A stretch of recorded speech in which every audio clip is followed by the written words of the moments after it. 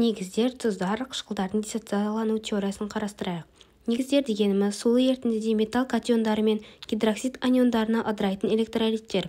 Негіздер валенттілігіне сәйкес сатылай диссоцияланады мысалға натрий гидроксиді бұл жерде натрий бір валентті сондықтан да натрий катионы мен OH анионына ыдырайды.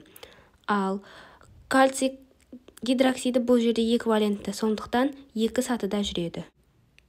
Тұздар сулы ерітіндіде металл катиондары мен қышқыл қалдықтарының аниондарына ыдырайтын электролиттер.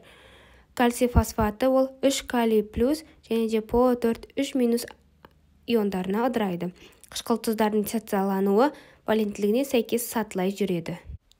Қышқылдар сулы ерітіндіде сутек катиондары мен қышқыл қалдықтарының аниондарына ыдырайтын электролиттер. Мысалға аш хлор бұл сутек және де хлор иондарына ыдырайды қышқылдар валенттілігіне сәйкес сатылай жүреді. Мысалға күкірт қышқылы екі сатыда жүреді. Себебі ондағы сутек атомдар саны екеу.